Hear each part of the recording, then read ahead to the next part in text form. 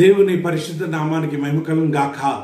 మన తండ్రి అయిన దేవుని నుండి మన ప్రభుని యేసు క్రీస్తు నుండి కృపా సమాధానములు మనందరికీ కలుగును గాక. ఆమెన్. దేవుని ప్రియ పరిశుద్ధ సంగమ మన జీవితంలో మరొక విశ్రాంతి దినంలో ప్రవేశించడానికి విశ్రాంతి దినంలో ప్రభువుని ఆరాధించడానికి. ప్రభు చూపించిన కృప అంతటిని బట్టి మనము దేవాది దేవునికి వందనాలు స్థుతి స్తోత్రము చెల్లించవలసి ఉంటున్నాం. ఈ సమయంలో పెంతికోస్తు తర్వాత పద్దెనిమిదవ ఆదివారంలో మనం ప్రవేశించాం. ఈ ఆదివారంను అంగవైకల్యం గలవారి ఆదివారంగా మనం సెలబ్రేట్ చేసుకుంటూ ఉంటాం. Sunday for the mentally physically challenged and palliative patients అనే సండేని మనం సెలబ్రేట్ చేసుకుంటూ ఉంటాం. ఈ ఆదివారం సెలబ్రేట్ చేసుకునే సమయంలో మనము ధ్యానం చేయవలసిన అంశము డిసేబిలిటీ కేర్ అండ్ కన్సర్న్ వైకల్యము సంరక్షణ మరియు గౌరవము అనే అంశాన్ని మనం ధ్యానం చేయవలసి ఉంటున్నాం.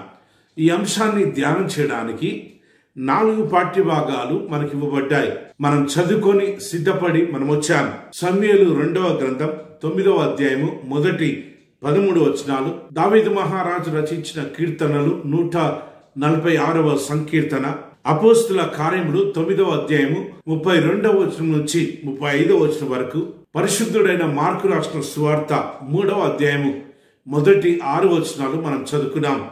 ఈ భాగాలలో ఉంటున్న లోతైన అర్థాలు ఈ భాగాలలో ఉంటున్న గూఢార్థాలను ఈ భాగాలలో ఉంటున్న మర్మాలను ప్రభు మనకు బయలుపరచాలని ప్రభు మన మనోనేత్రాలు తెరిచి ఈ భాగాలను అర్థం చేసుకోవడానికి తన ఆత్మ చేత మనల్ని నింపాలని ప్రార్థన పూర్వకంగా మనం ప్రభుని వేడుకుందాం. ఎక్కడ ఇద్దరు ముగ్గురు కూడుకొని ప్రభు నామపేట ఐక్యమవుతారో వారి మధ్యలో ప్రభు ఉంటానని సెలవిచ్చాడు కాబట్టి మనము ఆరాధిస్తున్న ఈ అంశంలో ఈ ఆరాధనలో ఈ ధ్యానంలో మన మధ్యలో ప్రభు ఉన్నాడన్న భయము చేత భక్తి చేత మనం ఈ వాక్యాన్ని వినడానికి ప్రయత్నం చేద్దాం. హృదయాంతరంగాలలో నుంచి ప్రభు పరిశుద్ధ నామాన్ని మహిమపరచడానికి ప్రయత్నం చేద్దాం.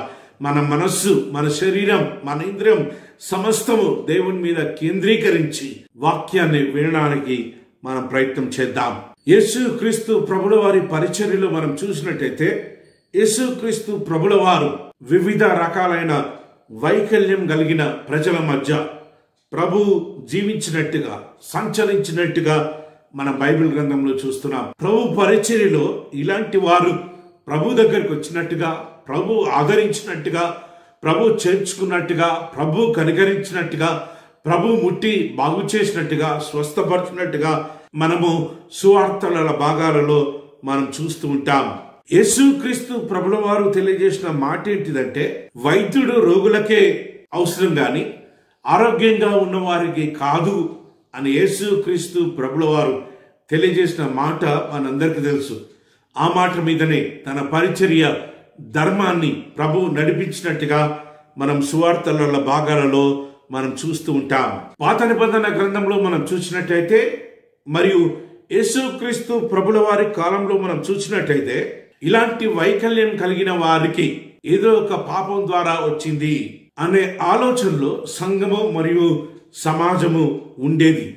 అందరు బట్టే గుడ్డివారు కుడ్డివారు మూగివారు కుష్ఠరోగులను చూసినప్పుడు సమాజం వారు వారిని డిస్రిగార్డ్ చేసి వారికి ఎలాంటి మర్యాద ఇవ్వకుండా వారిని ఇంప్యూర్గా వారిని ముట్టుకుంటే మనం మలినమైపోతాం మనకు పాపం అంటుకుంటుంది అనే భావంలోనే సంఘము సమాజము ఉండేది. అపోస్తుల కార్యములు పదవ అధ్యాయము ఇరవై ఎనిమిదో వచ్చినో మనం చూసినట్టయితే ఎవరిని కూడా ఇంప్యూర్ అని కానీ అన్క్లీన్ అని కానీ పిలవడానికి వీలేదు అపరిశుద్ధులు వారిని ముట్టుకుంటే మల్లమైపోతారు అనే వాదన బైబిల్ గ్రంథంలో కొట్టివేయబడినట్టుగా మనం చూస్తూ ఉంటాం.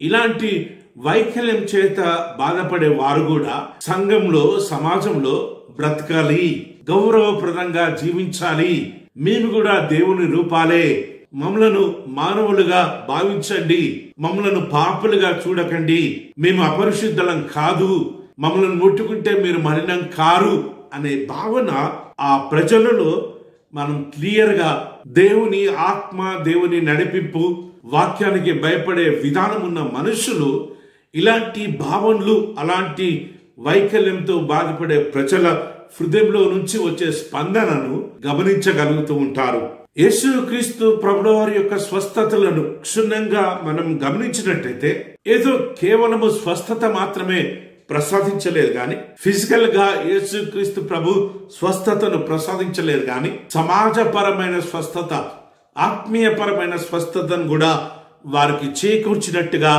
ఆయా స్వస్థతలను మనము క్షుణ్ణంగా పరీక్షించినట్టయితే మనము అర్థం చేసుకోగలుగుతుంటాం. తరచుగా వికలాంగులను వివక్షతకు మరియు అంచులకు నెట్టవేయబడుతూ ఉన్నారు. యేసుక్రీస్తు ప్రభుల వారి కాలంలోనైతేనేమి ప్రస్తుత కాలంలోనైతేనేమి వికలాంగులు అంగవైకల్యంతో ఉన్నవారు వివక్షతకు లోనవుతూ తరచూ అంచులకు నెట్టివేయబడుతూ ఉన్న సంప్రదాయాన్ని మనం గమనిస్తూ ఉంటున్నాం. సామర్థ్యత వయోవాదము భౌతికవాదము కులతత్వము లింగ సమానత మరియు పిత్రస్వామ్యము అనే అన్యాయమైన నిర్మాణాలు వికలాంగుల హక్కులను ఆటంకపరుస్తూనే ఉన్నాయి. అమానవీయంగా మార్చేస్తున్నాయి ఈ విషయాన్ని మనం గమనించాలి. సర్వసాధారణంగా ఇలాంటి ప్రజల పట్ల ఒక చారిటీ మోడల్ని వారికి సహాయం చేయాలి. వారికి వైద్యపరమైన సదుపాయాలు అందించాలి అని మాత్రమే ఆలోచన చేస్తూ ఉంటారు. కానీ వారు కూడా మనలాగా సరి అయిన రెస్పెక్ట్తో డిగ్నిటీతో హూందాతనంతో వారికి కూడా హూందాతనాన్ని అందించాలి. వారిని కూడా మన్నన చేయాలి. వారికి కూడా రెస్పెక్ట్ ఇవ్వాలి అన్న ఆలోచనలు చాలా తక్కువగా కనిపిస్తూ ఉంటాయి. కేవలము సహాయం చేయాలి. కేవలము వైద్యపరమైన సదుపాయాలు అందించాలి అన్న ఆలోచనలను విరమించుకుని వారిని కూడా మనలాంటి వారిగా చూస్తూ వారికి కూడా సంరక్షణ అందిస్తూ వారిని కూడా గౌరవించడం ఎంతైనా అవసరము. ఎందుకు అంటే వారందరూ కూడా దేవుని రూపంలోనే నిర్మించబడిన వారు. వారందరినీ కూడా దేవుడు తన స్వహస్తాలతో నిర్మించినట్టుగా మనము బైబిల్ గ్రంథంలో మనం చూస్తూ ఉంటున్నాం. మనమందరము దేవుని రూపాలు. వారు కూడా దేవుని రూపమే అన్న సత్యాన్ని మనం గమనించి వారు కూడా మన తోటి వారే అన్న విషయాన్ని గమనించి వారిని కూడా మనన్ను చేయడం వారికి కూడా సహాయ సహకారాలు అందించడం సంఘంలోను సమాజంలోను గౌరవప్రదంగా వారు జీవించడానికి కావలసిన సకల ఏర్పాట్లను సకల వనరులను సమకూర్చే బాధ్యత మనందరిది అన్న విషయాన్ని మనం గమనించవలసి ఉంటున్నాం. పరిచర్య అంటే దేవుని సేవ అంటే ఏసయ్య పరిచర్యలాగా ఉండాలి. మినహాయించబడిన వారిని చేర్చుకోవడము పట్టించుకొని వారిని మరియు నిర్లక్ష్యం చేయబడిన వారి పట్ల శ్రద్ధ వహించడము వారికి గౌరవప్రదమైన నివాస స్థానాన్ని అందించే దృక్పథంలో మన ముందుకు సాగాలి అని దేవుని వాక్యాలు మనకు జ్ఞాపకం చేస్తుంది. వికలాంగులతో సహా అట్టడుగు వర్గాలను అనుకరించడానికి మరియు ప్రతిస్పందించడానికి మనల్ని పిలిచే ముఖ్యమైన బైబుల్ పాఠాల ద్వారా రూపొందించబడిన విశ్వాస సంఘాలు మారడానికి యేసు యొక్క వైకల్య పరిచర్య మనకు సవాలుగా మారింది. మనకు సవాలు విసురుతుంది. మనకు సవాలు చేస్తుంది ప్రస్తుత కాలంలో అన్న విషయాలను మనం గమనించాలి. ఈ అవగాహనతో మనము మనకివ్వబడిన అంశం పైన ధ్యానం చేయడానికి ఈనాటి పాఠ్య భాగాలపై దృష్టి పెడదాం. ఆ పాఠ్య భాగాలలో నుంచి మనం ఏం నేర్చుకోగలుగుతాం? ప్రస్తుత సంఘానికి సమాజానికి ఎలాంటి నమూనా ఎలాంటి మోడల్ని మనం అందించగలుగుతామో మనము కొంచెం లోతుగా అధ్యయనం చేయడానికి ప్రార్థన పూర్వకంగా ప్రయత్నం చేద్దాం. పాత నిబంధన పాఠ్య భాగంలో మనం చూసినట్లయితే సమయంలో రెండవ గ్రంథం తొమ్మిదవ అధ్యాయము మొదటి పదమూడు వచనాలు మనం చదువుకున్నాం. ఈ భాగాలలో మనం ఒక నమూనాని మనం చూస్తుంటున్నాం ఈ భాగాలలో దావీదు మన ముందు ఉంచిన ఒక మోడల్ని ఒక చిహ్నాన్ని ఒక నమూనాను మనం చూస్తున్నాం. అది ఏమిటి అంటే వైకల్యం కలిగిన బిడ్డలను మన సహవాసంలో చేర్చుకోవడము. మనము తోడుగా ఉండడం ద్వారా వారిని సంరక్షించడం మరియు గౌరవించడం జరుగుతుంది అన్న విషయాలను ఈ భాగంలో మనం చూస్తుంటున్నాం ఈ భాగంలో మెఫీపోషత్ ఏ రీతిగా గౌరవించబడ్డాడు? ఏ రీతిగా చేర్చుకోబడ్డాడు? ఏ రీతిగా దావీదు మహారాజు యొక్క కుటుంబంతో సహవాసంలోనే చివరి వరకు బ్రతికాడు అన్న విషయాలను మనం ఈ భాగంలో చూస్తుంటున్నాం ఈ మెఫీ భవిష్యత్తు ఎవరు అంటే సౌలు మహారాజు యొక్క కుమారుడైన జోనాథన్ యొక్క కుమారుడు మెఫీ భవిష్యత్ యొక్క తండ్రి జోనాథన్ చనిపోయేటప్పుడు మెఫీ భవిష్యత్ యొక్క తాతయ్య చనిపోయేటప్పుడు అంటే సౌలు మహారాజు చనిపోయేటప్పుడు మెఫీ భవిష్యత్ కేవలము ఐదు సంవత్సరాల వయసులో ఉన్నట్టుగా బైబిల్ గ్రంథంలో మనం చూస్తుంటున్నాం ఆ సమయంలో ఒక నర్సు ఒక దాది ఈ యొక్క చిన్న బిడ్డను ఈ చిన్న బిడ్డ యొక్క సంరక్షణ చూసుకుంటున్నట్టుగా మన బైబిల్ గ్రంథంలో చూస్తుంటున్నాం. ఈ యొక్క ఆ ఘోరమైన ఇన్సిడెంట్ ఆ కుటుంబంలో జరిగినప్పుడు ఈ దాది ఆ చిన్న బిడ్డను తీసుకొని అక్కడి నుంచి పారిపోతున్న సమయంలో అక్కడి నుంచి వెళ్ళిపోవాలని ఆలోచన చేసి వెళ్ళిపోతున్న సమయంలో ఈ చిన్న కుమారుడు ఆ దాది చేతిలో నుంచి ఈ చిన్న కుమారుడు ఆ సంరక్షణాలు చేతిలో నుంచి కింద పడిపోయినప్పుడు రెండు కాళ్ళు కూడా విరిగి కుంటి కాలుగా మారిపోయినట్టుగా మనం చూస్తున్నాం. ఈ విషయాలన్నీ కూడా సమయాలు రెండవ గ్రంథం నాలుగవ అధ్యాయము నాలుగవ వచనంలో మనం చూస్తూ ఉంటాం. ఈ యొక్క యాక్సిడెంట్ తర్వాత ఈ రీతిగా కాలుపై కుంటివాడుగా మారిపోయిన తర్వాత మాకీలు ఇంటిలో నివాసం ఉంటున్నట్టుగా మనం చూస్తున్నాం. దావిదు మహారాజు సౌ దావిదు మహారాజు యోనాతానును బట్టి యోనాతాను మీద ఉన్న తన స్నేహాన్ని బట్టి యోనాతాను మీద ఉన్న ప్రేమను బట్టి దావీదుకు దేవుని మీద ఉన్న భయమును భక్తిని బట్టి ఇతరుల సొమ్ము దోచుకోవద్దు ఇతరుల సొమ్ము ఆశించొద్దు ఇతరుల సొమ్ము ఆక్రమించుకోవద్దు అన్న ఆజ్ఞలన్నీ ఎరిగినవాడు కాబట్టి అన్న దేవుని వాక్యాలు తెలుసుకున్నవాడు కాబట్టి యోనాథాను బట్టి సౌలు మహారాజు కుటుంబంలో ఉంటున్న వారికి మేలు చేయాలని. సౌలు మహారాజు యొక్క ఆస్తిపాస్తులను వారికి అందజేయాలనే మంచి తలపు దావిదు మహారాజుకు వచ్చినట్టుగా మన బైబిల్ గ్రంథంలో మనం చూస్తుంటున్నాం. ఈ ఆలోచన దావిదు మహారాజుకు వచ్చినప్పుడు సౌలు కుటుంబానికి సేవకుడిగా ఉంటున్న సీబాను పిలిపించి దావిదు విచారణ చేసినప్పుడు సీబా దావీదు మహారాజుకి తెలియజేయడం జరిగింది. యోనాతానుకు కుంటి కాళ్ళు గల కుమారుడు ఒకడు ఉన్నాడని రాజుతో మనవి చేసినట్టుగా మనము మూడవ వచనం చివరి భాగంలో మనం చూస్తున్నాం. ఈ చిన్న కుమారుడు ఈ కుంటి కాళ్ళు గల మెఫిబోషత్తు లోదెబారులో నివాసం ఉంటున్నట్టుగా మాకీరు కుటుంబంలో నివాసం ఉంటున్నట్టుగా సీబా దావీదు మహారాజుకి తెలియజేసినప్పుడు దావీదు మహారాజు మెఫిబోషత్ని పిలిపించి ఆస్తి భాస్తులన్నీ కూడా మెఫిబోషత్కి అప్పచెప్పినట్టుగా మనం వాక్యంలో చూస్తుంటున్నాం కుంటివాడైనప్పటికీ తనకు చెందవలసిన ఆస్తిపాస్తులన్నీ కూడా అతనికి ఇచ్చి అతన్ని సన్మానించి అతన్ని సంరక్షించి అతన్ని గౌరవించిన దావీదు మహారాజును మనం చూస్తుంటున్నాం కుంటివాడు కదా సౌలు మహారాజు ఇంటికి సంబంధించిన వారు ఎవరు వచ్చినని అడగలేదు కదా అడిగినప్పుడు చూద్దాం కదా అని దావీదు మహారాజు అనుకోలేదు. ఎందుకు అంటే దావిద్ మహారాజులో దేవుని భయము ఉంది కాబట్టి దేవుణ్ణి ఆరాధించే దావిద్ మహారాజు ఈ ఆస్తి నాది కాదు అనే సత్యాన్ని తెలుసుకున్న దావిద్ మహారాజు ఆ ఆస్తి ఎవరికి చెందాలో వారికి చెందేటట్టు చూస్తున్న విషయాన్ని మనం చూస్తున్నాం. అంత మాత్రమే కాకుండా సీబాకు ఆజ్ఞాపించాడు. ఈ ఆస్తి పాస్తులన్నింటినీ నువ్వే చూసుకోవాలి ఇక మీదట నుంచి. ఈ యొక్క భూమిని సేద్యం చేసి వ్యవసాయాన్ని చేసి ఆ పంటను తెచ్చి మెఫిబోషత్కి అందించాలి. మెఫిబోషత్ ఇంటి వారందరూ కూడా సంతోషంగా ఆనందంగా ఆ యొక్క పంటను భుజిస్తూ బ్రతకాలి అని సీబాకు దావీదు ఆజ్ఞాపించాడు. సీబాకు మాత్రమే కాదు కానీ సీబాకు మరియు సీబా ఇంటి వారందరికీ ఈ యొక్క ఆస్తిపాస్తులను సంరక్షించి వారికి తగిన లాభసాటిని అందించే విషయంలో తోడ్పడాలని సీబాకు ఆజ్ఞాపించినట్టుగా మనం బైబిల్ గ్రంథంలో చూస్తుంటున్నాం.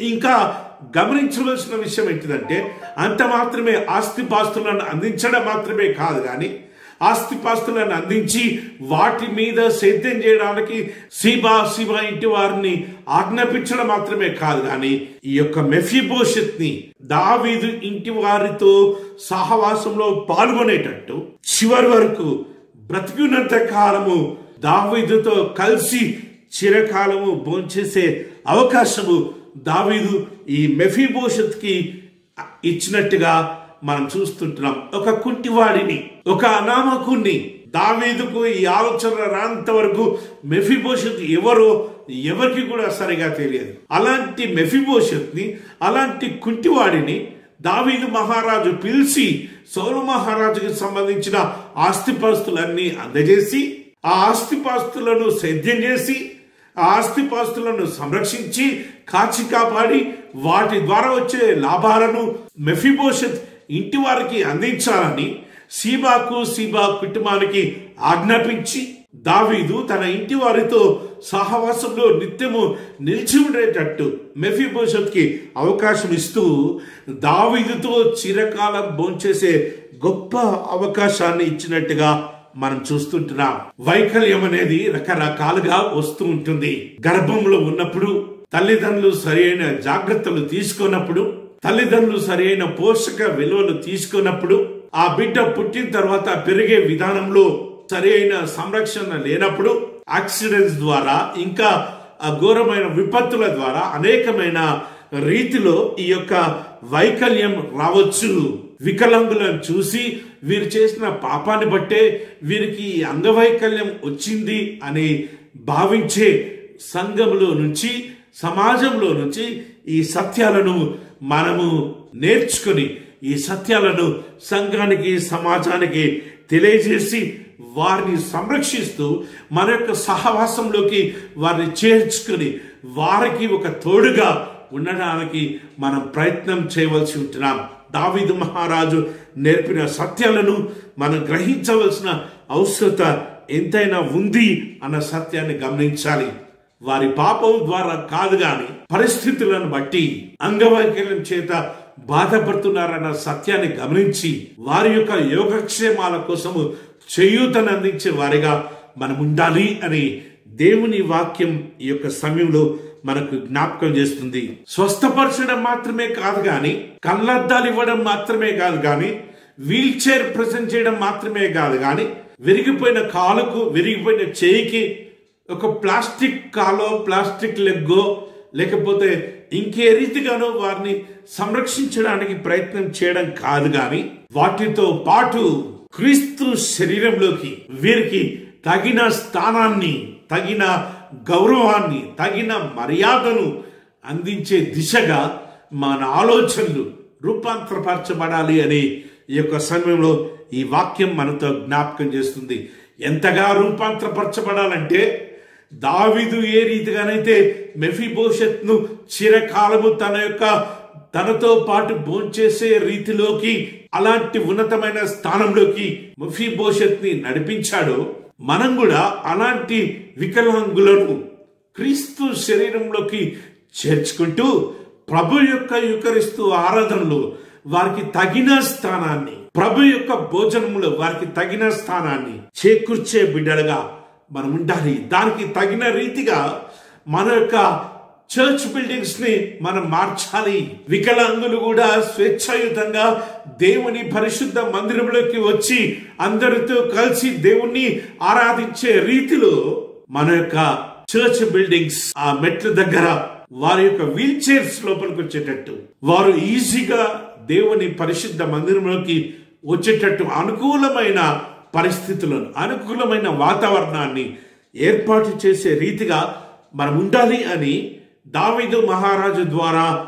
మనం తెలుసుకుంటున్నాం. క్రీస్తు ప్రేమను అందించే విషయంలో వీరు కూడా యోగ్యులే. వీరు కూడా క్రీస్తు ప్రేమను అందించాలి. వీరు కూడా దేవుని రూపాలే. వీరు కూడా దేవుని బిడ్డలే. వీరిని కూడా దేవుడు తన స్వస్థాలతో నిర్మించాడు అన్న సత్యాన్ని ఎరిగి ఆ క్రీస్తు సహవాసంలోకి ఆ క్రీస్తు పరిశుద్ధతలోకి ఆ క్రీస్తు శరీరంలోకి ఆ క్రీస్తు యూకరిస్తు ఆరాధనలోకి వీరిని నడిపించే రీతిగా సంఘము సమాజము సంస్కరించబడాలి అన్న విషయాలను ఈ సమయంలో మనము నేర్చుకోవాల్సిన అవసరత ఎంతైనా ఉంది. వైకల్యం అనేది మన సొంత వ్యక్తిగత మరియు సామాజిక దుర్బలత్వాలను గుర్తు చేస్తుంది. అయితే ప్రవచనాత్మక స్వరాన్ని ప్రతిస్పందనగా వైకల్యాన్ని స్వీకరించడం తోడుగా ఉండడం మరియు నిమగ్నం చేయడం మన పని.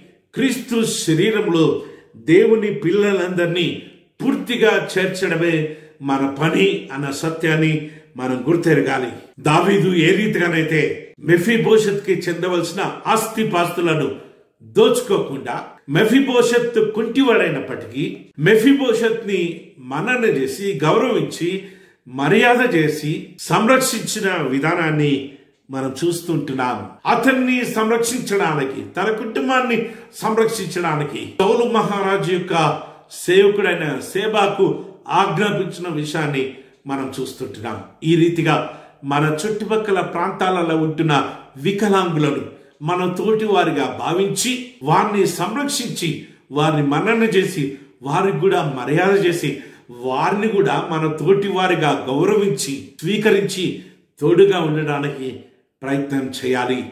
ఈ విషయాలను ఈ భాగ్యం ద్వారా మనం నేర్చుకుంటున్నాం. పత్రిక భాగంలో మనం చూసినట్లయితే అపోస్తుల కార్యములు తొమ్మిదవ అధ్యాయము ముప్పై రెండవ వచనం నుంచి ముప్పై ఐదవ వచనం వరకు మనం చూసాం అపోస్తుల పరిచర్యలలో బలహీనతలో ఉన్న బిడ్డలు ఏ రీతిగా ఆదరించబడ్డారు అన్న విషయాలను ఈ భాగంలో మనం చూస్తున్నాం. అపోస్తలను యేసుక్రీస్తు ప్రభు యొక్క మోడల్నే అనుకరించినట్టుగా మనము వారి యొక్క సువార్త పరిచర్యలలో మనం చూస్తున్నాం. చరిత్ర చదువుకున్నప్పుడు మనకు అర్థమవుతుంది. పాత నిబంధన గ్రంథంలో ఉంటున్న పరిశుద్ధులు పాత నిబంధన గ్రంథంలో ఉంటున్న నాయకులు పాత నిబంధన గ్రంథంలో ఉంటున్న రాజులు పాత నిబంధన గ్రంథంలో ఉంటున్న ప్రవక్తలు యేసుక్రీస్తు ప్రభు యొక్క పరిచర్య వీటన్నిటిని అపోస్తలను అనుకరించినట్టుగా ఆచరించినట్టుగా వాటి ప్రకారమే తూచ తప్పకుండా జీవించినట్టుగా మనము వారి యొక్క సేవా జీవితం ద్వారా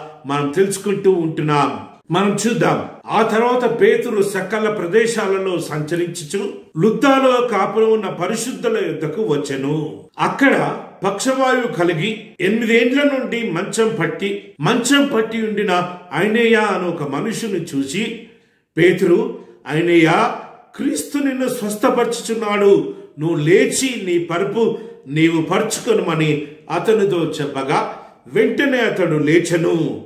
లుదాలో షారోనులో కాపురమున్న వారందరూ అది చూచి ప్రభువు తట్టు తిరిగిరి. వాక్యం వింటున్న ప్రియ స్నేహితులారా పేతులు ఆయా ప్రదేశాలలో సంచరించు దేవుని స్వార్థ పరిచర్య చేస్తూ ఈ సమయంలో లుద్దాలో కాపురమున్న పరిశుద్ధుల యుద్ధకు వచ్చినట్టుగా మనం చూస్తుంటున్నాం. ఇక్కడ ఆల్రెడీ పరిశుద్ధులు ఉన్నట్టుగా మనం చూస్తున్నాం. వీరి మధ్యలో పక్షవాయువు అనే రోగం చేత బాధపడుతూ ఎనిమిది సంవత్సరాల నుంచి మంచం పట్టుకొని మంచం మీద పండుకొని ఉన్న అయినయ్య అనే ఒక మనుష్యుని మనం చూస్తుంటున్నాం. పరిశుద్ధులు ఉన్నారు.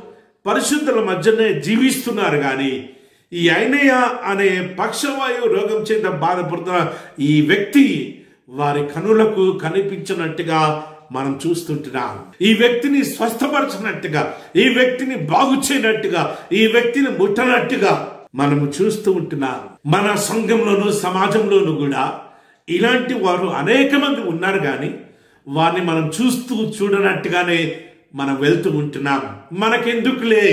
మేమేం చేయగలుగుతాంలే?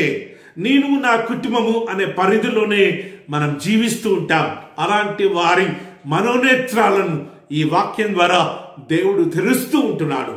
పొరల చేత నిండిన మన కనుల పొరలను దేవుడు ఈ వాక్యం ద్వారా చూపిస్తూ ఉంటున్నాడు. పొరలను తీసివేసి దేవుడు తన వాక్యాన్ని మనకు చూపిస్తూ ఉంటున్నాడు. లుద్దాలో కాపురమున్న పరిశుద్ధుల వలె మనం కూడా పరిశుద్ధులమని చెప్పుకుంటూ మనం కూడా సంఘస్థులమని చెప్పుకుంటూ మనం కూడా క్రీస్తు శరీరం అని చెప్పుకుంటూ కొంతమందిని క్రీస్తు శరీరంలోకి తీసుకురాకుండా కొంతమందిని క్రీస్తు శరీరంలోకి వచ్చే వారికి అడ్డుబండగా ఉంటున్నామేమో క్రీస్తు శరీరంలోకి వచ్చే వారిని అంచులకు నెట్టివేస్తున్నామేమో మన స్వార్థపూరితమైన ఆలోచనల ద్వారా ఆత్మీయమైన మర్మాలను గైకొనకుండా ఆత్మీయమైన విషయాలను చేపట్టకుండా స్వార్థపూరితంగా ఆలోచన చేస్తూ దేవుని రాజ్యాన్ని విస్తరింపజేసే పనిలో వీరు కూడా దేవుని రాజ్యంలో పాలిభాగస్తులు కావచ్చు. వీరు కూడా అర్హులే. వీరు కూడా పిలువబడ్డారు. వీరు కూడా క్రీస్తు శరీరమే. వీరు కూడా దేవుని రూపాలే అన్న సత్యాన్ని గ్రహించకుండా మన ప్రాంతంలో ఉంటున్న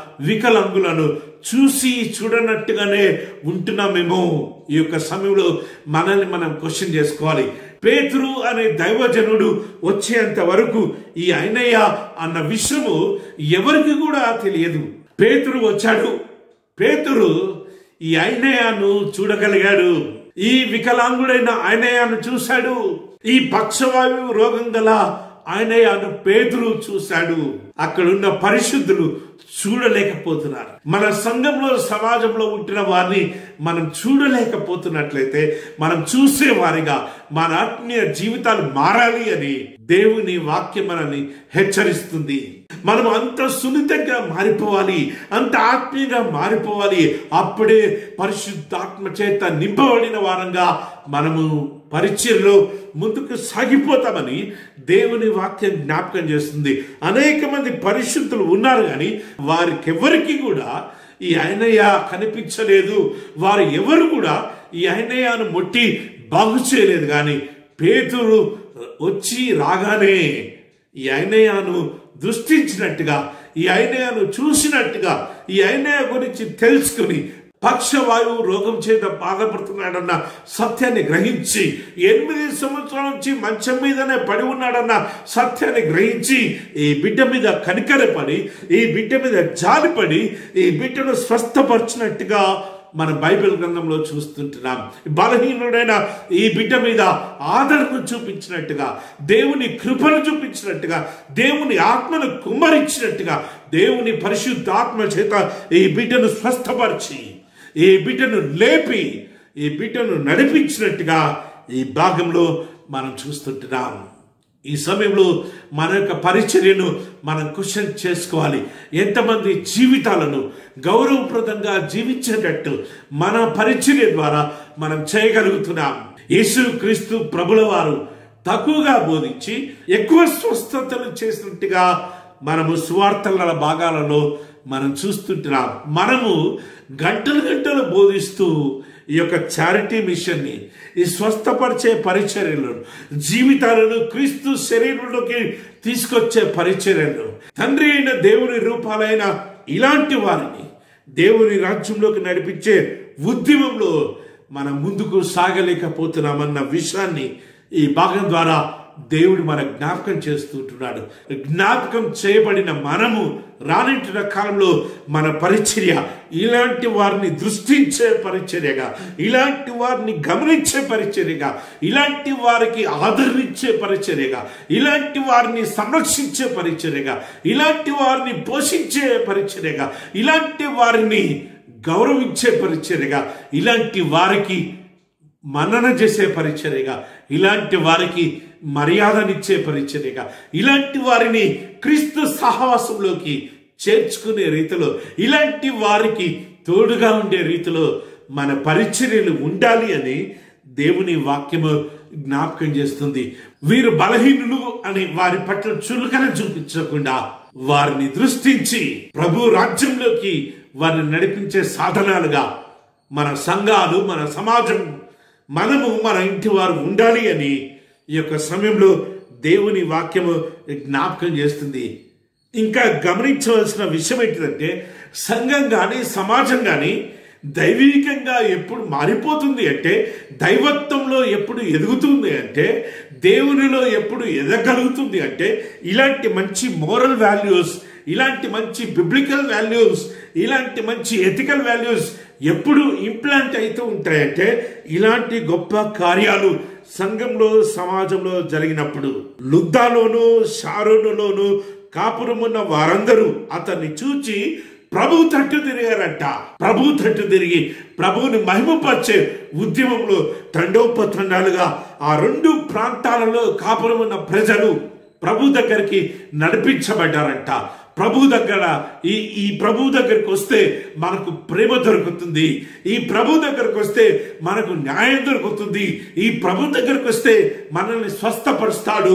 ఈ ప్రభు దగ్గరికి వస్తే మనం కనికరించబడతాం. ఈ ప్రభు దగ్గరికి వస్తే మన పాపాలు క్షమించబడుతూ ఉంటాయి. ఈ ప్రభు దగ్గరికి వస్తే మనల్ని సంపూర్ణ మానవుడిగా సంపూర్ణ పురుషులుగా సంపూర్ణ స్త్రీలుగా మనల్ని గౌరవిస్తూ ఉంటాడు. అన్న విషయాన్ని ఆ రెండు ప్రాంతాలలో కాపురమున్న వారు గ్రహించి ప్రభు తట్టు వారందరూ తిరిగి ప్రభును స్తుతించినట్టుగా మనం చూస్తుంటున్నాం మన సంఘాలు మన యొక్క సమాజాలు దైవీకంగా మారిపోవాలి అంటే మన యొక్క సంఘము సమాజము ప్రవచనాత్మకమైన సంఘంగా ప్రవచనాత్మకమైన సమాజంగా ప్రవచన స్వరాన్ని అందించే సమాజంగా ప్రవచన స్వరాన్ని అందించే సంఘంగా మన సంఘాలు మారిపోవాలి అంటే సంఘంలో ఇలాంటి దైవికమైన కార్యాలు జరగాలి. సంఘంలో ఇలాంటి బిడ్డలకు మన్నన చేయాలి. సంఘంలోకి ఇలాంటి బిడ్డలను నడిపించుకొని రావాలి. సంఘంలోకి ఇలాంటి బిడ్డలను తీసుకుని వచ్చి సంఘ సహవాసంలో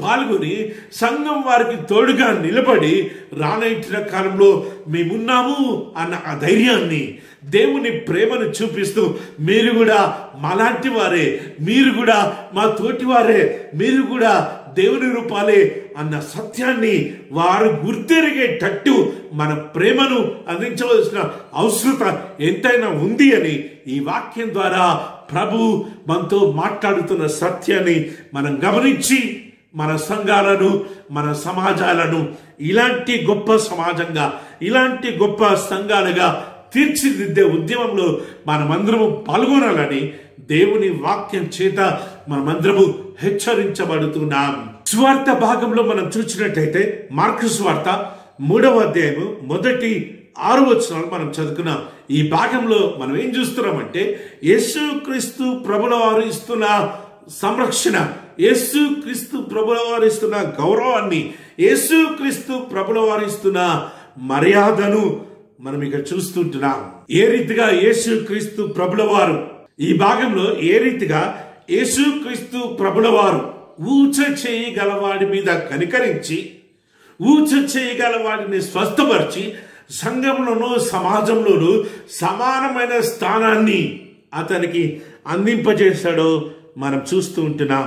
యేసుక్రీస్తు ప్రభుల వారి యొక్క అద్భుతాలను స్వస్థతలను మనం క్షుణ్ణంగా గమనించినప్పుడు కేవలము బాహ్యపరంగా వారిని స్వస్థపరచలేదు కానీ వారిని ఆత్మీయంగా సమాజపరంగా వారిని మానసికంగా సంపూర్ణ పురుషుడిగా సంపూర్ణ మానవుడిగా సంపూర్ణ స్త్రీగా ప్రభు వారిని స్వస్థపరిచి వారిని ఆశీర్వదించినట్టుగా సువార్తల భాగాలలో మనం చూస్తూ ఉంటున్నాం. యేసుక్రీస్తు పరిచయం ఎంత కూడా మనం చూసినట్టయితే ఎన్నో గొప్ప కార్యాలు ఎన్నో అద్భుత కార్యాలు ఎన్నో మహత్కార్యాలు తనను వెంబడించే వారికి ఏసయ్య చూపించినట్టుగా జరిగించినట్టుగా మనం బైబిల్ గ్రంథంలో మనం చూస్తున్నాం. ఇక్కడున్న ఊచ చేయగల వాడిని ప్రభు ఏ రీతిగా స్వస్థపరిచాడో యేసుక్రీస్తు ప్రభు యొక్క సువార్త పరిచర్యలో కూడా అనేక మందిని అనేక మందిని ముట్టి బాగు చేసినట్టుగా రకరకాలుగా రోగాల చేత బాధపడుతున్న వారిని రకరకాల మానసిక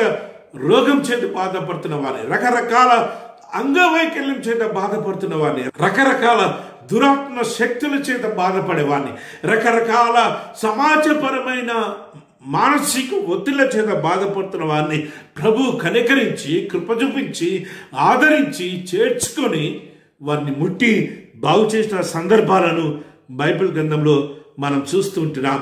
యేసు క్రీస్తు ప్రభుల వారు ఈ గొప్ప కార్యాలు ఎందుకు జరిగించాడంటే తనను అట్రాక్ట్ చేసుకోవడానికి కాదు కానీ వారి జీవితాలను బాగు చేసి వారి జీవితాలను రూపాంతరపరిచి వారు వారు ఉంటున్న బంధకాలంలో నుంచి వారిని విముక్తి చేసి వారిని విడిపించి విడుదల చేసి ప్రభు కార్యాన్ని వారికి చూపించి వారిని రక్షణ పదంలోకి నడిపించడానికి ప్రభు రాజ్యంలో వారసులుగా వారిని రూపాంతరపరచడానికి ప్రభు ఈ గొప్ప కార్యాలు చేసినట్టుగా మనం బైబిల్ గ్రంథంలో మనం చూస్తుంటున్నాం. అందుకే యేసుక్రీస్తు ప్రభుల వారు ఎక్కడ స్వస్థతలు చేసినా మీరు ఎవరికీ చెప్పొద్దు కానీ ప్రభును స్థుతించండి బైబిల్ గ్రంథంలో మనం చూసినట్టయితే యేసుక్రీస్తు ప్రభుల వారు మాటి మాటికి తాను జరిగించిన స్వస్థతలను బట్టి వారిని హెచ్చరించడం జరిగింది. ఈ విషయాలను ఈ అద్భుత కార్యాలను ఈ స్వస్థతలను మీరెక్కడ కూడా తెలియజేయకండి అని యేసుక్రీస్తు ప్రభు వారిని హెచ్చరించినట్టుగా మనం చూస్తున్నాం. మార్కుసు వార్త మొదటి అధ్యాయము నలభై నాలుగు నలభై ఐదు వచనాల్లో మనం చూస్తుంటున్నాం ఎవరికి తెలియజేయొద్దని యేసుక్రీస్తు ప్రభు హెచ్చరించాడు గాని స్వస్థపరచబడిన వారిని దేవుని మందిరంలోకి వెళ్ళి యాజకుడికి వారి వారి దేహాన్ని కనపరుచుకుని మేము పరిశుద్ధపరచబడ్డాం మేము శుభ్రపరచబడ్డాం మేము స్వస్థపరచబడ్డాం. మా మరణం కడగబడింది. మేము పరిశుద్ధులుగా మారిపోయాం. మేము తోటి మనుషులుగా మారిపోయామని మీ దేహాన్ని యాజకుడికి కనపరుచుకొని యాజకుడు ఇచ్చే మెడికల్ సర్టిఫికేట్ తీసుకొని సంఘంలో సమాజంలో తిరగండి. అదే రీతిగా మోసే నియమించిన ధర్మాన్ని బట్టి మోసే నియమించిన చట్టాన్ని బట్టి మోసే నియమించిన ఆజ్ఞను బట్టి మీరు ప్రభుకి ఇవ్వవలసిన కానుకను ప్రభుకి సమర్పించండి అని యేసు క్రీస్తు ప్రభుల వారు క్షుణ్ణంగా వారికి తెలియజేసినట్టుగా మనం చూస్తున్నాం. దీన్ని బట్టి మనం ఏం అర్థం చేసుకుంటున్నామంటే బాహ్యపరమైన స్వస్థతకు మాత్రమే యేసుక్రీస్తు ప్రభుల వారు ప్రాముఖ్యత ఇవ్వలేదు. కానీ వెళ్ళి దేహాన్ని యాచకుడికి కనపరుచుకొని మీరు ఏ రీతిగా పరిశుద్ధపరచబడ్డారు ఏ రీతిగా కడగబడ్డబడ్డారు ఏ రీతిగా మలినంలో నుంచి మీరు బయటికి రాబడ్డారో మీ దేహాన్ని చూపించుకొని మెడికల్ సర్టిఫికేట్ తీసుకొని సంఘంలో సమాజంలో దర్జాగా ప్రతి మానవుడిలాగా మీరు తిరగండి. ఆత్మీయంగా జీవించడానికి దేవులోనే బ్రతకడానికి మోసే ద్వారా తెలియజేయబడిన కానుకను సమర్పించండి అని ఏసయ్య వారికి హితబోధ చేసినట్టుగా మనం చూస్తుంటున్నాం. సంపూర్ణమైన మానవుడిగా మార్చడానికి ఏసయ్య ప్రయత్నం చేశాడు కానీ ఏసయ్య వారిని అట్రాక్ట్ చేయడానికి మాత్రము చేయలేదు అనడానికి ఇవన్నీ సాదృశ్యం. ఇలాంటి ఆరాధనల ద్వారా వికలాంగుల గురించి చర్చించుకోవడం ద్వారా వికలాంగుల గురించి తెలుసుకోవడం ద్వారా సంఘం చైతన్యవంతం కాబడుతుంది సంఘం మారిపోతుంది ఇలాంటి ప్రజల పట్ల సున్నిత భావాలతో నడుస్తుంది అనడానికి ఒక నిదర్శనం ఒక హోప్ని దేవుడు మనకు దయచేస్తున్న విషయాలను మనం గమనించవలసి ఏదో బాహ్యంగా ఏదో కొన్ని వస్తువులను అందిస్తే సరిపోతుంది అన్న భావంలో నుంచి సంపూర్ణ పురుషులుగా వారిని నడిపించాలి అన్న లోతైన ఆత్మీయతలోకి ఈ యొక్క సమయంలో మనం నడిపించబడుతున్నాం. రానైతున్న కాలంలో ఇలాంటి వికలాంగుల పట్ల ఇలాంటి దృక్పథం ఉండాలి అని దేవుని వాక్యం జ్ఞాపకం చేస్తుంది. ఏదో వైద్యం అందిస్తే సరిపోతుంది. ఏదో కొన్ని వస్తువులు ఇస్తే సరిపోతుంది అన్న భావంలో నుంచి వారు కూడా క్రీస్తు శరీరంలో భాగస్థులే. వారికి కూడా వారు కూడా మన సహవశంలోకి మనం రప్పించాలి. వారికి అండగా మనం నిలబడాలి. ప్రభు యొక్క యూకరిస్తూ ఆరాధనలో పాల్గొనడానికి వారికి కూడా అర్హత ఉంది. పరిశుద్ధ మందిరంలోకి వారు ఈజీగా రావడానికి అనుగుణంగా మన మందిరాల యొక్క పరిస్థితులను మనం మార్చుకోవాలి అన్న దృక్పథంలోకి మనం రావాల్సిన అవసరత ఎంతైనా ఉంది. పక్షపాతాన్ని చూపించకుండా అలాంటి వారి పట్ల వివక్షత చూపించకుండా అలాంటి వారిని ఇంకా దోచుకోకుండా అలాంటి వారి మీద ఆధిపత్యం చేయకుండా వారు దేవుని బిడ్డలే వారు దేవుని రూపాలే అన్న సత్యాన్ని గమనించి వారికి కూడా రావాల్సిన రైట్స్ని వారికి కూడా వారికి చెందవలసిన రైట్స్ని వారికి తెలియజేస్తూ అలాంటి రైట్స్ ద్వారా వచ్చే స్వేచ్ఛను అలాంటి రైట్స్ ద్వారా వచ్చే లాభాలను వారికి అందించే వారిగా మనము మన కుటుంబాలు మన సంఘాలు మన సమాజాలు ఉండాలి అన్న సత్యాన్ని దేవుని వాక్యం ద్వారా మనం తెలుసుకుంటున్నాము సర్వ సృష్టికి వెళ్ళి సువార్తను ప్రకటించండి అన్న మాటను పట్టుకొని మనము సర్వ సృష్టికి వెళ్ళి సువార్తను ప్రకటించడానికి ముందుకు వెళ్తుంటాం గాని ఇలాంటి బిడ్డలను ప్రభు దగ్గరికి నడిపించే విషయంలో అలసట ప్రదర్శిస్తూ ఉంటాం. మన దృష్టికి వారు రాకుండా ఉంటూ ఉంటారు. లూకాస్ వార్త పద్నాలుగవ అధ్యాయము ఇరవై ఒకటి వచ్చంలో మనం చూసినట్టయితే యేసు క్రీస్తు ప్రభుని వెంబడించే వారికి ఏసయ్య తెలియజేసిన ఉపమానం ఏంటిదంటే మీరు వీధులలోకి వెళ్ళి అంగవైకల్యంతో బాధపడే వారిని కుట్టివారిని గుట్టివారిని అందరినీ ప్రభు భోజనంలోకి తీసుకుని రండి. ఈ వివాహ పంక్తిలోకి తీసుకుని రండి. ఈ వివాహ విందులోకి తీసుకుని రండి అని ప్రభు అక్కడ ఒక ఉపమానాన్ని తెలియజేస్తున్నట్టుగా మనం చూస్తుంటున్నాం. దీని యొక్క అర్థం ఏంటిదంటే దేవుని ప్రియ పరిశుద్ధ సంగమా దేవుని రాజ్యంలోకి నీకు నాకు ఎలాంటి అర్హత ఉందో అంగవైకల్యం చేత బాధపడే వారికి కూడా వికలాంగులకు కూడా గుడ్డి వారికి కూడా మూగి వారికి కూడా బలహీనతలో బాధపడే వారికి కూడా పక్షవాయు రోగం చేత బాధపడే వారికి కూడా కుష్ఠ రోగం చేత బాధపడే వారికి కూడా కుంటి వారికి గుడ్డి వారికి చెవిటి వారికి అందరూ కూడా ప్రభు రాజ్యంలో స్థానం ఉంది వారందరినీ ప్రభు రాజ్యంలోకి నడిపించే సాధనాలుగా వారికి సంపూర్ణమైన జీవితాన్ని అందించే సాధనంగా క్రీస్తు ప్రేమను సంపూర్ణంగా అందించే సాధనంగా క్రీస్తు రాజ్యంలోకి వారిని నడిపించడానికి ఎలాంటి ప్రయత్నమైనా మనం చేసేవారిగా ఉండాలి అని దేవుని వాక్యము మనకు జ్ఞాపకం చేస్తున్నట్టుగా మనం చూస్తుంటాం మనం చదువుకున్న సువార్త భాగంలో మనం చూసినట్టయితే యేసు క్రీస్తు ప్రభు మీద వేటాడుతున్న వారిని మనం చూస్తుంటున్నాం people are hunting Jesus Christ to catch him ఎలాంటి తప్పు చేస్తాడా? ఏ రీతిగా అతడు దొరుకుతాడా? ఎప్పుడు బంధించాలా? ఎప్పుడు హతం చేయాలా? అని పన్నాగం పన్నుతూ కుట్ర పన్నుతూ ఏసేను వెంబడిస్తున్న వారిని మనం అక్కడ చూస్తూ ఉంటున్నాం. సమాజ మందిరంలో ఆయన మరలా ప్రవేశింపగా అక్కడ ఊచ చేయగల వాడు ఒకడుండెను అచ్చట వారు ఆయన మీద నేరం మోపవలనని ఉండి విశ్రాంతి దినమున వానిని స్వస్థపరచునేమో అని ఆయనను కనిపెట్టుచుండిరి. ఈ విశ్రాంతి దినంన ఈ ఊచ చేయి రోగం గల వాడిని ఏసయ్య బాగు చేస్తాడా? చేయడా? చూద్దాం. బాగు చేస్తే పట్టుకొని బంధించి అతన్ని సంహరిస్తాం అనే కుట్రపూరితమైన ఆలోచన చేస్తున్నప్పటికీ అలాంటి వారు అక్కడ ఉన్నారని తెలిసి కూడా ఏసయ్య తన ధర్మాన్ని చేసే విషయంలో ఏసయ్య ఊచ చేయి రోగం చేత బాధపడుతున్న వారిని స్వస్థపరిచిన విషయంలో వెనకడుగు వేయలేదు దేవుని ప్రియ స్నేహితుడా. ఏసయ్య స్థిరంగా నిలబడిన విధానాన్ని మనం గమనించాలి.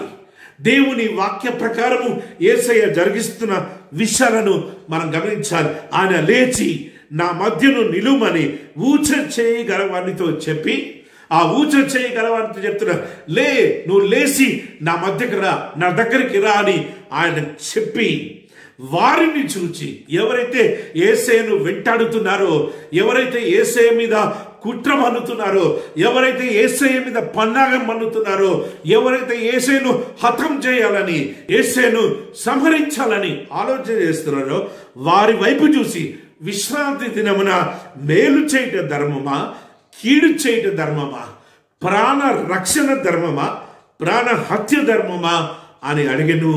ఏసయ్య వేసిన ప్రశ్నలకు వారి దగ్గర జవాబు లేదు. ప్రాణరక్షణ ధర్మమా? ప్రాణహత్య ధర్మమా? మేలు చేయడం ధర్మమా? కీడు చేయడం ధర్మమా? స్వస్థపరచగలిగి స్వస్థపరచకుండా ఉండడం న్యాయమా? స్వస్థపరచడం న్యాయమా? అని ఏసయ్య వారికి బోధించినట్టుగా మనం చూస్తుంటున్నాం. మనము సబ్బాతు కోసం కాదు కానీ సబ్బాతు మన కోసమే ఇవ్వబడింది అన్న విషయాన్ని ఏసయ్య అక్కడ ఉన్న వారికి బోధించేటప్పుడు వారందరూ నిశ్శబ్దంగా ఉన్నారంట. వారందరూ నిశ్శబ్దంగా ఉన్న విధానాన్ని చూసి వారు జవాబు ఇవ్వకుండా ఉన్న విధానాన్ని చూసి వారి యొక్క హృదయ కాఠిన్యాన్ని చూసి ఏసయ్య దుఃఖపడి కోపముతో వారి తట్టి చూసి ఈ ఊచ చేయి రోగం చేత బాధపడుతున్న వాడిని స్వస్థపరిచినట్టుగా బాగు చేసినట్టుగా మనం ఇక్కడ చూస్తుంటున్నాం. హరే లూయ వాక్యం వింటున్న ప్రియ స్నేహితులారా ఎలాంటి ఆటంకాలు వచ్చినా ఎలాంటి ఆటంకకరమైన పరిస్థితులు ఎదురైనా కానీ వికలాంగులను పరిశుద్ధ పరిచర్యలోకి నడిపించే విధానంలో వికలాంగులను సంపూర్ణ పురుషులుగా తీర్చిదిద్దే ఉద్యమంలో వికలాంగులను క్రీస్తు శరీరంలోకి పాలె భాగస్థులుగా చేసే పరిచర్యలో వికలాంగులను దేవుని సహవాసంలోకి నడిపించే ఉద్యమంలో వికలాంగులకు అండగా నిలబడే ఉద్యమంలో ఒక దావీదులాగా ఒక పేతురులాగా యేసు క్రీస్తు ప్రభులాగా మనం ఉండాలి అని ఇక్కడ దేవుని వాక్యం జ్ఞాపకం చేస్తుంది. వెంటనే పరిసయులు వెలుపలకు వెళ్ళిపోయి వెంటనే హేరదు హేరోదియులతో కలిసి ఆయనను ఎలాగూ సంహరింతుమా అని ఆయనకు విరోధంగా ఆలోచన చేసింది. ఏ రీతిగా ఆయనను హత్య చేయాలి? ఏ రీతిగా ఆయనను హతం చేయాలి? ఏ రీతిగా అతన్ని సంహరించాలి? అనే పన్నాగాలు పన్నినట్టుగా మనం చూస్తున్నాం. ఇలాంటి పరిశుద్ధమైన కార్యాలు నిర్వహిస్తున్నప్పుడు సంఘంలో అనేకమైన ఆటంకాలు వస్తుంటాయి. సమాజంలో అనేకమైన ఆటంకాలు వస్తుంటాయి. వాళ్ళు అపరిశుద్ధులు వారు మలినమైపోయిన వారు వారిని ముట్టుకుంటే మనం కూడా మలినమైపోతాము. వారున్న చోట మేము రాము వారు ఉంటే మేము గుడికి రాము అనే నినాదాలు మనం వింటూనే ఉంటాం. అలాంటి బిడ్డలు కౌన్సిలింగ్ చేయాలి. అలాంటి బిడ్డలకు దేవుని వాక్యాన్ని నేర్పాలి. అలాంటి బిడ్డలకు దేవుని వాక్యంలో ఉన్న విశాలమైన దృక్పథాన్ని తెలియజేయాలి. అలాంటి బిడ్డలకు కూడా దేవుని వాక్యాన్ని బోధిస్తూ వికలాంగులను బలహీనులను అంగవైకల్యంతో ఉన్న వారిని వితంతులను పక్షవాయు రోగస్తులను కుష్ఠ రోగస్తులను గుడ్డివారిని చెవిటివారిని మూగవారిని అశ్రద్ధ చేయకుండా వారిని గమనించి వారిని వెతికి వెతికి వెంటాడి. దావిదు మహారాజు ఏ రీతిగానైతే సౌలు మహారాజు యొక్క ఆస్తి పాస్తులు నావి కావు అవి ఎవరికి చెందారు ఎవరు అర్హులు వారికి ఇస్తాను అని వెతికి వెతికి మెఫీ భవిష్యత్తును కనుగొన్నాడు. మన సంఘంలో సమాజంలో ఉంటున్న వికలాంగులను మన సంఘంలో సమాజంలో ఉంటున్న అంగవైకల్యంతో బాధపడుతున్న రోగస్తులను మన సంఘంలో సమాజంలో ఉంటున్న పక్షవాయు రోగం చేత బాధపడుతున్న వారిని కుష్టి రోగం చేత బాధపడుతున్న వారిని చెవిటి వారిని మూగివారిని గుడ్డివారిని కుంటివారిని వెతికి వెతికి సంఘంలోకి సమాజంలోకి వారిని తీసుకుని వచ్చి వారికి ఒక మర్యాదపూర్వకమైన స్థానాన్ని సంపూర్ణ పురుషులు అనే భావన వారికి కల్పించి వారిని మన్నన చేసి వారిని ప్రేమించి క్రీస్తు ప్రేమను వారికి తెలియజేసి వారు కూడా మనతోటి వారే అన్న భావన వారికి అందించి మన సహవాసంలోనూ వారిని చేర్చుకొని మన సహవాసంలో వారి ఆత్మీయంగా ఎదిగేటట్టు వారి జీవితాలను మార్చే బాధ్యత మనదే అన్న విషయాలు దేవుని వాక్యం చేత మనం హెచ్చరించబడుతున్నాం. చివరిగా దావిది మహారాజు రచించిన కీర్తనలు నూట నలభై ఆరవ సంకీర్తన మనం చదువుకున్నాం. నూట నలభై ఆరవ కీర్తన నుంచి నూట యాభై కీర్తనల వరకు మనం చూసినట్టయితే ప్రారంభం మరియు చివర దేవుని స్తుతించండి దేవుని గనపరచండి దేవునికి హలలుయ చెప్పండి.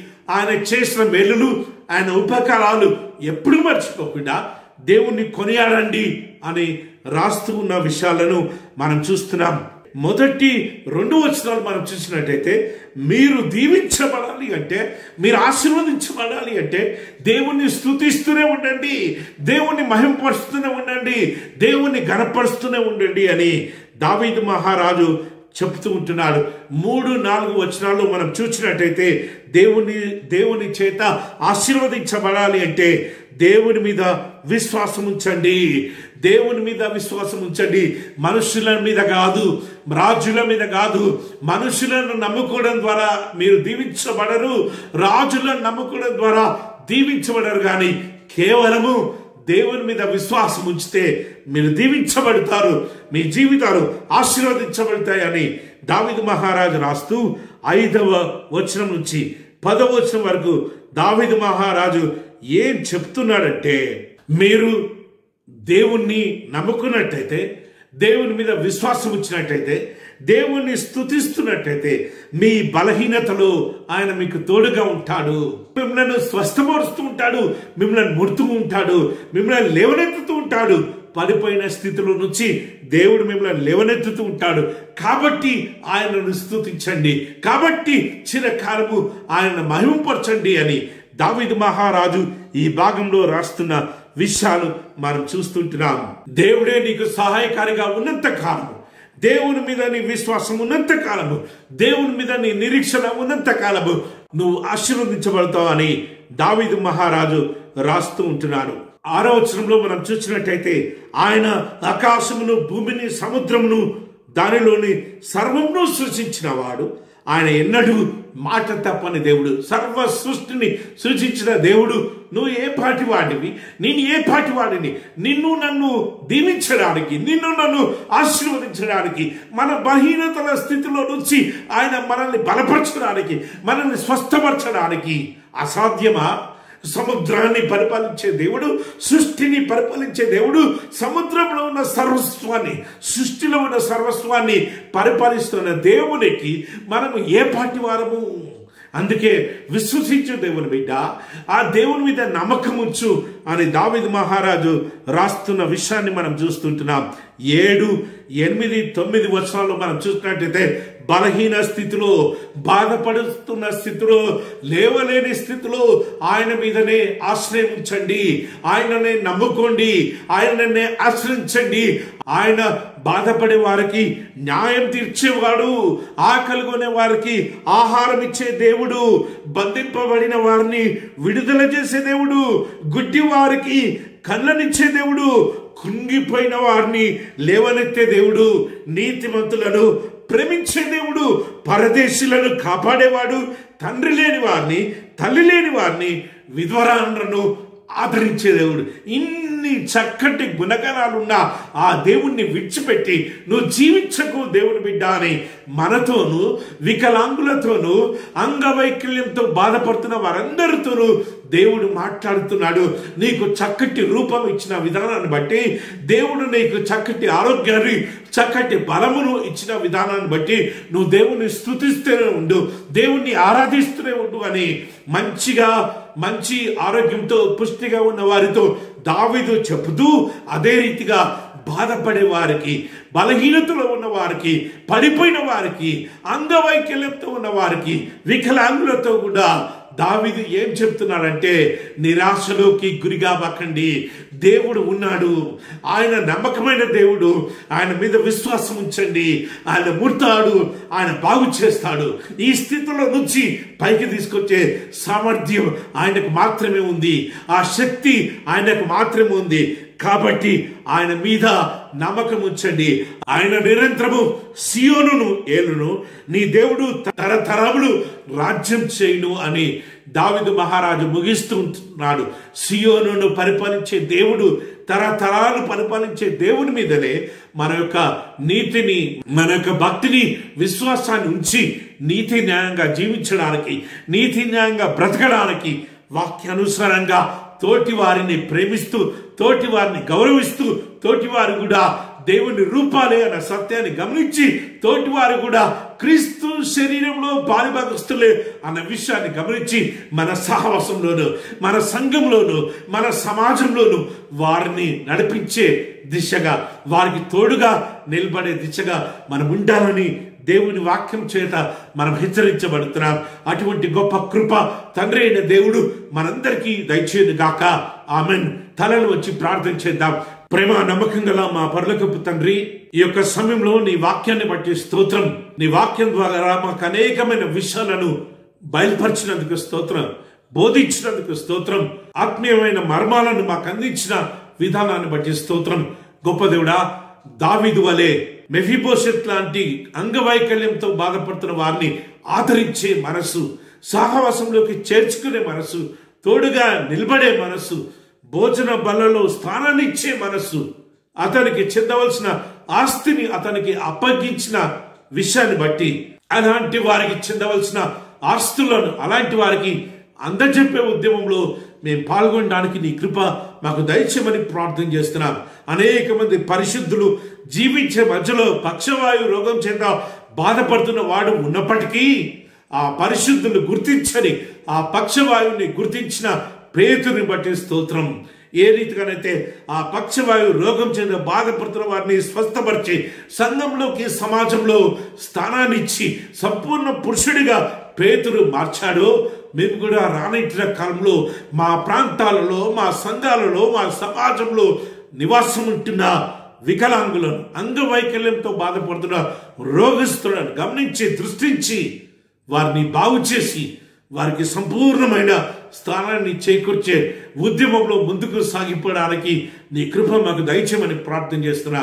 గొప్ప దేవుడా యేసు క్రీస్తు ప్రభుల వారు ఇలాంటి కఠినమైన పరిస్థితుల్లో నాయన మరి మరణాన్ని కూడా లెక్క చేయకుండా ఊచ చేయి రోగం చేత బాధపడుతున్న వారిని స్వస్థపరచాడో మేము కూడా ఎలాంటి వ్యతిరేకమైన పరిస్థితులు ఏర్పడినప్పటికీ నాయన ఇలాంటి బిడ్డల పట్ల సంపూర్ణమైన దృక్పథం కలిగి క్రీస్తు దృక్పథం కలిగి దావిదు లాంటి దృక్పథం కలిగి పేతురు లాంటి దృక్పథం కలిగి వాక్యానుసారమైన దృక్పథం కలిగి నిన్ను అనుకరిస్తూ ముందుకు సాగిపోతూ ఇలాంటి బిడ్డలను నీ రాజ్యంలోకి నడిపించే ఉద్యమంలో ఇలాంటి బిడ్డలు సంపూర్ణమైన మానవుడిగా తీర్చిదిద్దే ఉద్యమంలో ఇలాంటి బిడ్డలు క్రీస్తు శరీరంలో సభ్యులుగా చేర్చే ఉద్యమంలో ఇలాంటి బిడ్డలను క్రీస్తు సంఘమనే సహవాసంలోకి నడిపించే ఉద్యమంలో ఇలాంటి బిడ్డలకు తోడుగా నిలబడే ఉద్యమంలో మేమందరము ముందుకు సాగిపోవడానికి నీ కృప మాకు దయచేయమని విత్తబడిన వాక్యాన్ని పది కాలాల పాటు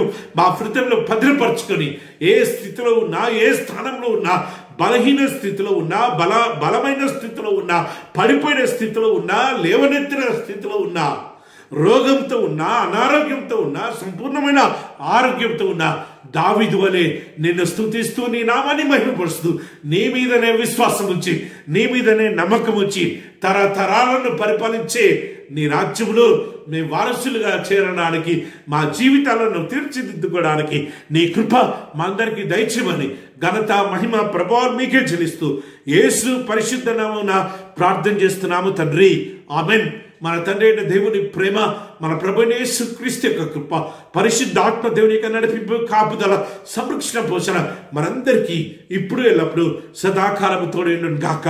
ఆమెన్.